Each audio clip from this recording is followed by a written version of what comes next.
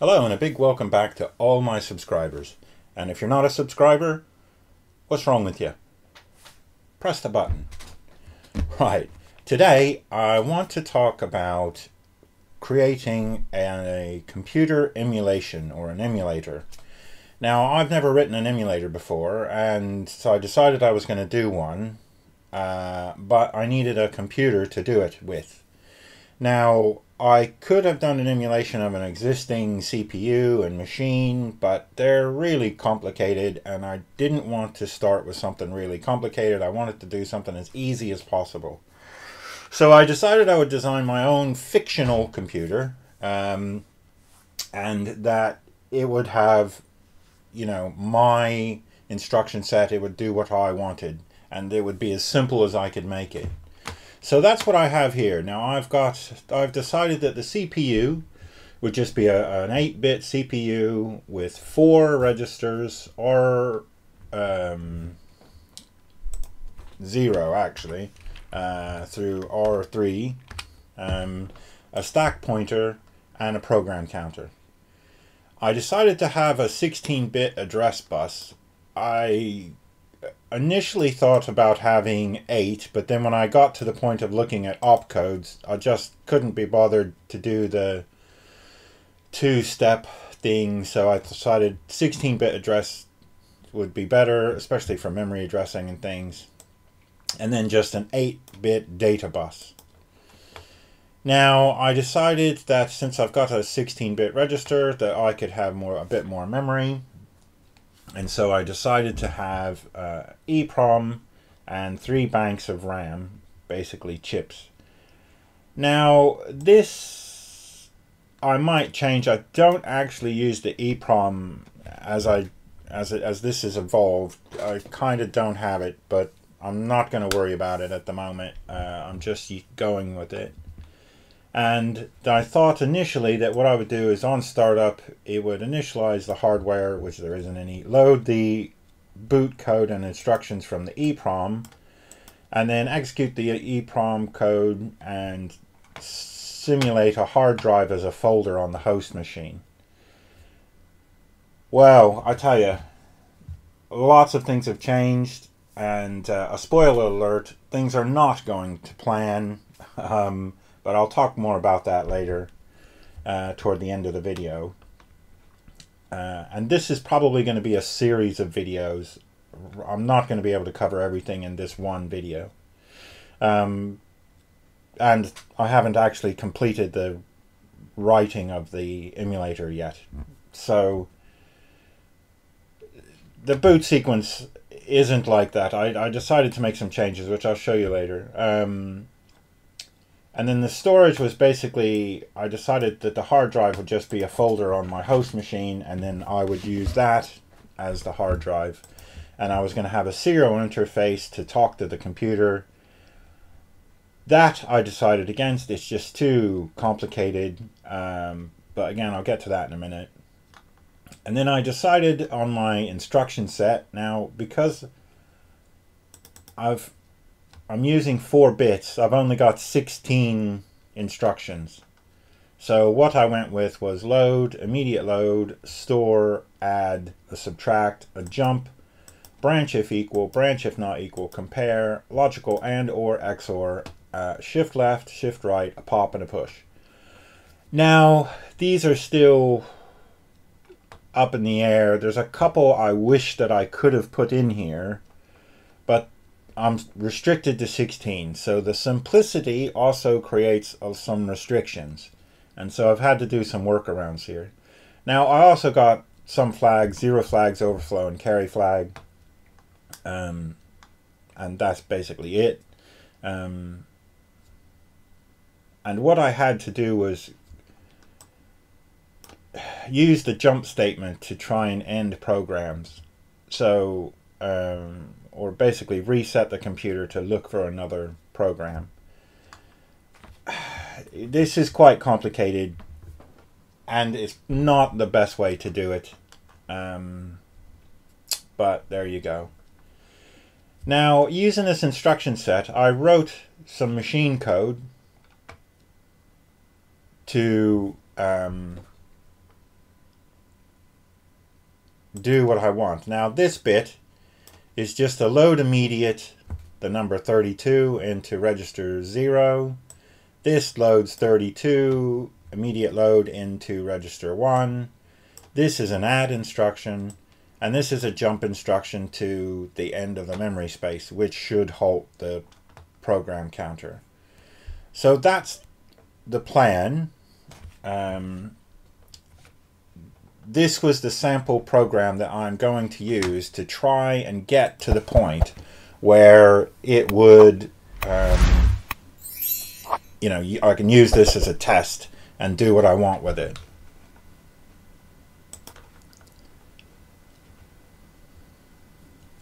Now, in order to change this into a binary, I wrote a Python script that basically just reads the text file in and outputs it as a binary file that I can use to read into my emulator. So that is my test case. It's basically just these four simple instructions uh, processed into a binary so that I can read it. Now, I created a framework for my emulator but before I go into that, let me just tell you that I'm not sponsored by anybody and I don't have a Patreon account or any of that. But what would really help me is if you had a look at my books and purchase some books from me.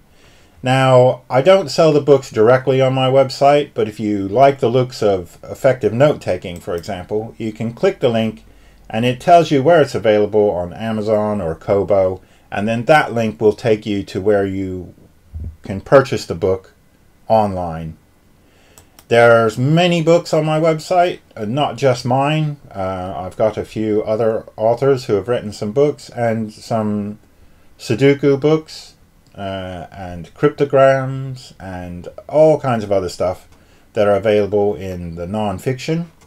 Uh, one you might like, which is beer pairing, so pairing beer with food, just like people do with wine uh, so this is an interesting book, uh, especially since I like beer. Uh, so I, I, was really keen to read this uh, when it came out. And again, if you click it, it will tell you where you can get it. You can get Smashwords, Amazon, Kobo, etc. So, please have a look at my website. Please, uh, if you're interested in the book, buy the books. It's a win-win for me uh, and you because you get a book and I get some uh, money to help me continue doing what I do. Uh, so please have a look at my books. Right. Now that our sponsorship bit is done, let's go back to the emulator. Now what I did was I created this basic framework that I'm going to use for my emulator and I've shown you this but this has evolved many times in the last two days that I've worked on it. I'm now on version 6 I think. So when I'm doing a major rewrite of this I basically save a copy and then change it to a new version and then I gut it and change it and modify it and mutilate it. You know, and this is just major rework. So I've done sort of five major reworks of this since I initially started it. But the basic framework is still in existence. Um, I set up the memory structures. I set up the selection of the memory. I have created the CPUs. um, and I made some changes. So, for example, I've made couple of these registers to be 16-bit registers rather than 8-bit registers.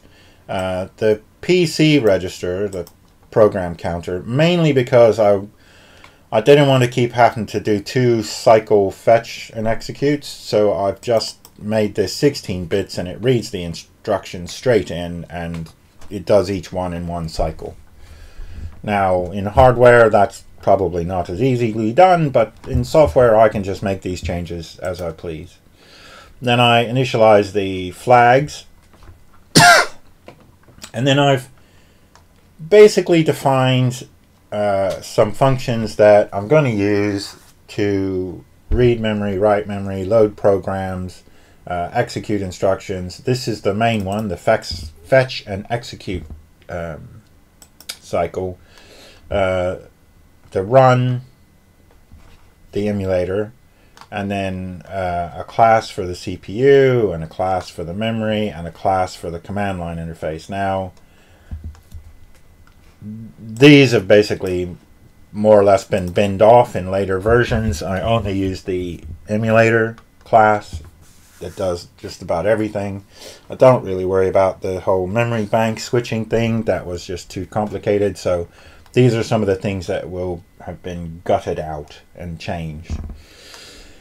And then the command line interface. Now, what I decided to do was to actually, rather than initialize into a boot prompt and then write a basic program or whatever, I've just created a command line interface that the emulator goes into and I can just do things directly within the command line interface without having a ser- to write serial ports, uh, programs to write boot EPROMs and all of that.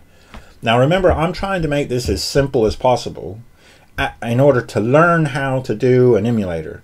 I'm not uh, trying to emulate a real computer, so I don't need to, you know, emulate the EPROM bootload and all of that that a, a sort of an 80, 88 or a or a MK um, 63 or 63K or a, you know any of the, the, the, normal CPUs would use. So I'm doing this myself. So um, when it became too complicated, I changed it around to make it a bit simpler for me because the purpose here is not to have a, a realistic CPU. The purpose here is to learn how to write an emulator. And even if I fail to do this, and I, as it stands at the moment, it looks like I might fail, I'm still learned a lot about emulators and how they work and how you write one. So although I might fail in this, I will eventually be able to do it or at least know enough to do it. Um, and so that's where I stand at the moment. Um, so the command line interface starts up and it gives me some prompts and initially I thought, oh, I want to be able to see the memory, I want to be able to see the registers, system info, date, time, installation, etc. Load, in order to load that file, this binary that I had before, and to be able to change directories and, you know, move around within the directory structure, and I'm using Unix commands, and then a shutdown. Now, um, and then some placeholders for, you know, showing the registers, showing the um, system info, etc., etc. And then a basic main to start it up. Now, that's the framework in a nutshell. But uh, it has evolved immensely, and I'm not going to cover that in this video. I'll cover it in the in the next video. And I'll, in the next video, we'll talk about how the framework expanded and the changes that had to happen. Uh, some issues with my choice of using Python to do this because it's caused me some issues, um, which I'll talk about in the next video. Um, but it's a good choice for rapidly prototyping things, but it wasn't such a good choice for the sort of low level stuff that you kind of have to do in a in a in a in a CPU. There were a number of issues around my computer design, one of which I mentioned earlier, which was having to increase the size of the registers.